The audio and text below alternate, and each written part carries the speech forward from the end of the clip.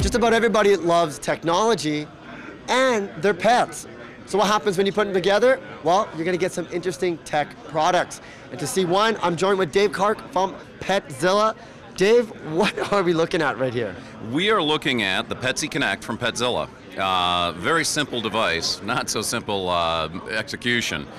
Basically, you take the device out of the box, plug it into any outlet in your home, and it will uh, come with international plugs uh, when we deliver internationally.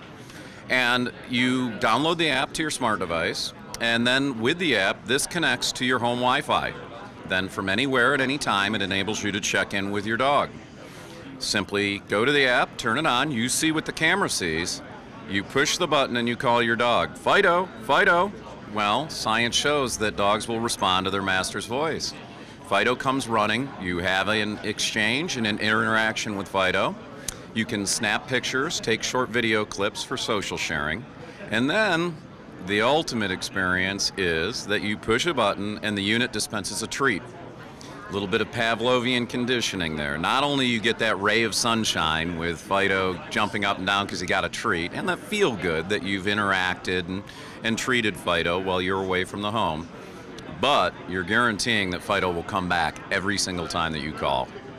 This is kind of a fantastic little device. Uh, like Toto, if Pavlov is still alive today, I'm sure he'd be very, very impressed. How do you put the uh, treats inside the device? Basically, the device comes with a removable skin that comes off and enables top loading of treats. We use a US quarter as the size gauge for the treat. If it's the circumference of a quarter or smaller, it'll fit and it will dispense. This is very cool. Now, how did you get this up? I understand that you are on Indiegogo.